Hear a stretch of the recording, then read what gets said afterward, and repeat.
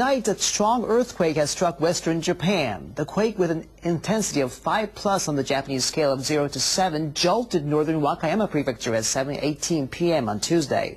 According to the meteorological agency, the focus of the quake was 7 kilometers below northern Wakayama prefecture. The agency says the quake had a magnitude of 5.5 and that there is no danger of a tsunami. The local authorities say that no damage has been reported so far. Once again, a strong earthquake has struck western Japan tonight. A quake with an intensity of 5 plus on the Japanese scale of 0 to 7 jolted northern Wakayama prefecture at 7.18 p.m. on Tuesday. According to the meteorological agency, the focus of the quake was 7 kilometers below northern Wakayama prefecture. The agency says the quake had a magnitude of 5.5 and that there is no danger of a tsunami. Local authorities say that no damage has been reported. At the Fukushima Daiichi nuclear plant, sections for covers that will contain radioactive materials released from the damaged reactors have begun arriving at the site.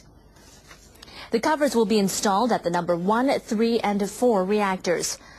Buildings housing these reactors sustained severe damage from hydrogen blasts triggered by the March 11th earthquake and tsunami. Pillars, beams, and other parts are being pre-assembled at a port 50 kilometers away from the plant. The concrete bases of the structure will be delivered on Wednesday, with more sections arriving from mid-July. The operator of the plant, Tokyo Electric Power Company, says it hopes to complete assembly work by late September using a crane with a 140-meter-long arm. Reducing radiation released from the reactor buildings is crucial to getting the crisis under control. This month, TEPCO will estimate the current amount of radiation released from the reactors.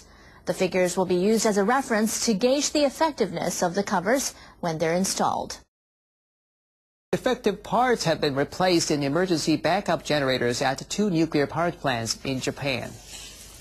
The Nuclear and Industrial Safety Agency found the defective parts at the Shika plant in Ishikawa Prefecture and the Mihama plant in Fukui Prefecture. It performed inspections after a component cracked in a backup generator for the Monju fast breeder reactor on the Sea of Japan coast last December. Attempts continue to prevent another hydrogen explosion at Japan's crippled power plant. The operator of the Fukushima Daiichi nuclear plant says it would send a robot inside the number three reactor. The machine will measure radiation and determine if it is safe to begin injecting nitrogen. Tokyo Electric Power Company is rushing to implement the procedure.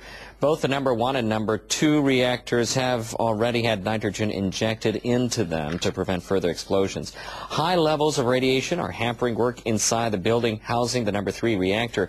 TEPCO workers on Monday covered parts of the floor with steel plates to block the radiation. TEPCO says the remote-controlled robot is equipped with a special camera that shows radiation in different colors. The firm plans to begin the operation on Wednesday after preparations the day before. Once it has confirmed that radiation is falling, it will inspect pipes that will be used to inject nitrogen. It says if there are no problems, it will begin the procedure before July 17th. The Japanese government will conduct a detailed survey of radiation levels in Fukushima. It'll use the data to review existing evacuation orders and advisories. In a meeting on Monday, the government decided to take charge of all radiation surveys being conducted by ministries, local municipalities, and the operator of the disabled Fukushima plant. All the data will be collated by the Education and Science Ministry and made public through a dedicated website. The survey will begin in July. Measurements will be taken every two square kilometers inside the no entry zone and other areas where evacuation has been advised. Priority will be given to schools and streets frequented by children. The government plans to compile a database by the end of August before they return to school. Nuclear Disaster Minister Goshi Hosono says he's hoping to start examining the data around July 17th.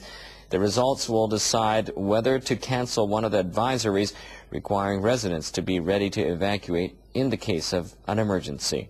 July 17th is the date when the nuclear plant operator is due to complete the first step of a two-stage plan to bring the crippled reactors under control.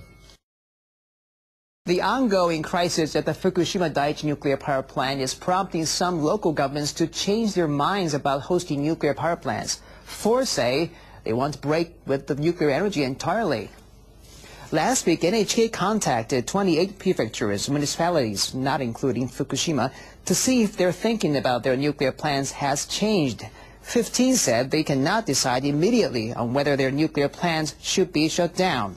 Five municipalities said they would not seek to have their plans scrapped because nuclear power remains a vital source of energy. However, Shizuoka Prefecture says it intends to start a campaign immediately to have its nuclear power plants decommissioned.